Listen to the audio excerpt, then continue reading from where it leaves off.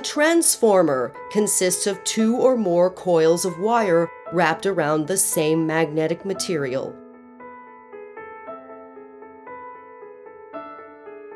If a DC current passes through, then the transformer doesn't do anything, and the coils behave the same way they would if they were replaced with normal wires.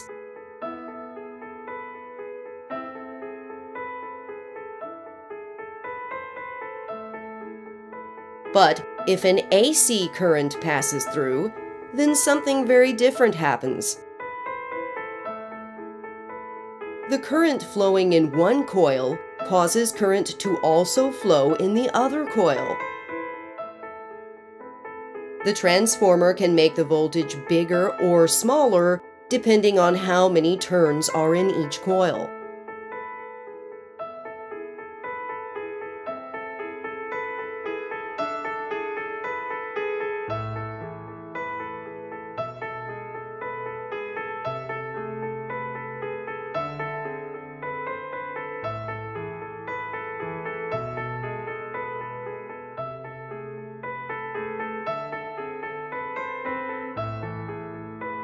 The voltage is the energy per charged particle.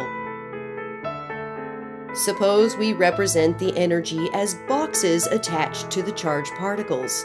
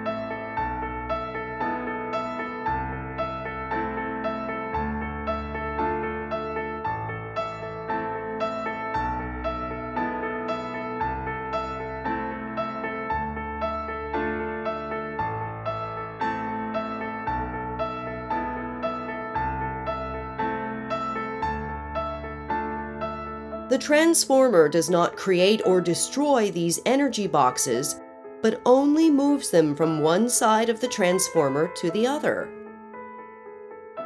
This means that the side of the transformer that has the higher voltage must also have a smaller number of charged particles flowing through it each second, so as to keep the total amount of energy boxes constant.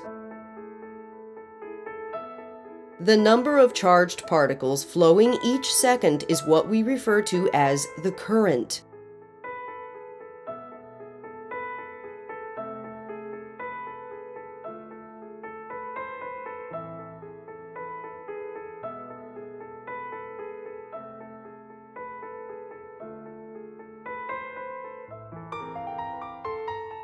The higher the voltage across a light bulb, the higher the current that flows through it.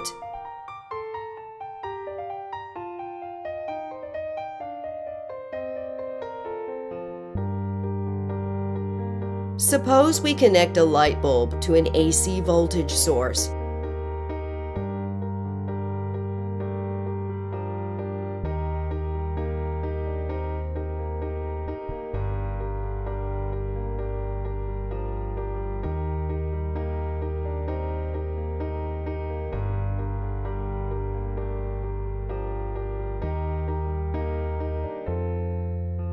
Now, suppose that in between the AC voltage source and the light bulb, we add a transformer that increases the voltage.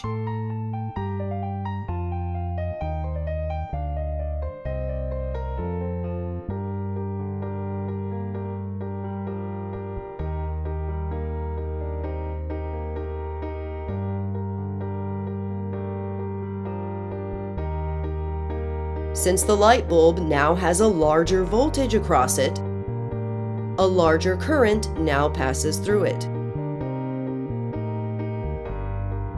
In order to keep the number of energy boxes constant, An even larger current must now pass through the AC voltage source.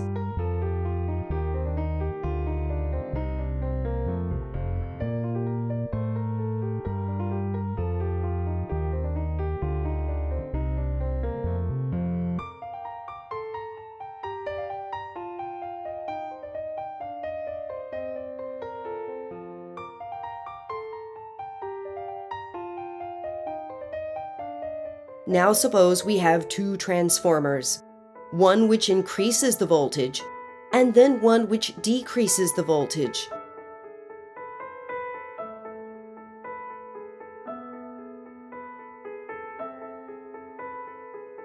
We now have the same amount of voltage across the light bulb as we had originally, with no transformers present.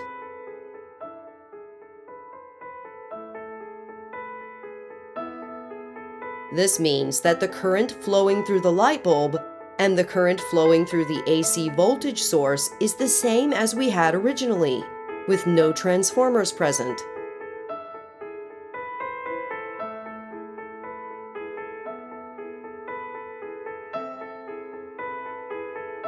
But the current flowing in between the two transformers is much smaller than the current we ever had flowing through the circuit before.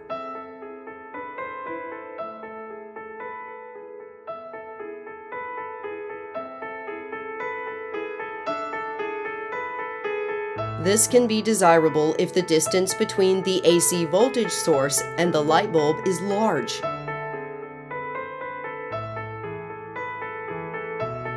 This is due to the fact that the wires are not perfect conductors and they have some resistance.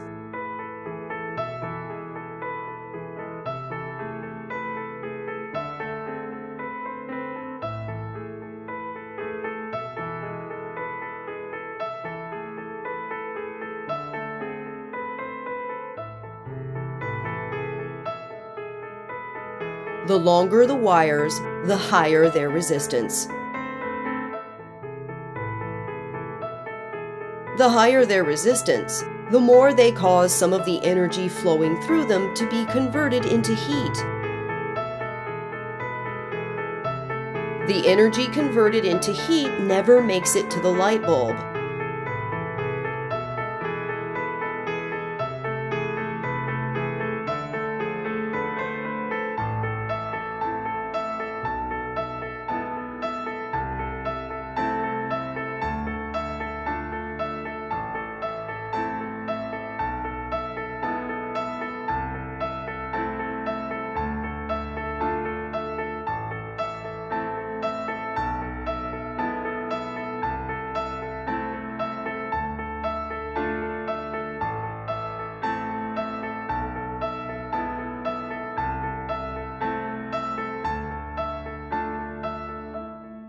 We can reduce the amount of energy that is converted into heat in the wires by reducing the amount of current flowing through them.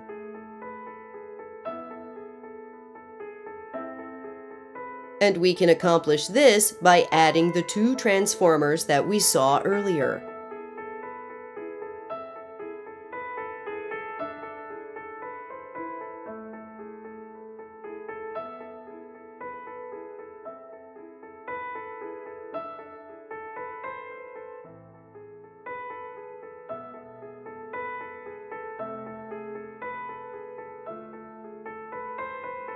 This is the principle by which electric utilities use transformers to deliver electricity to people's homes much more efficiently.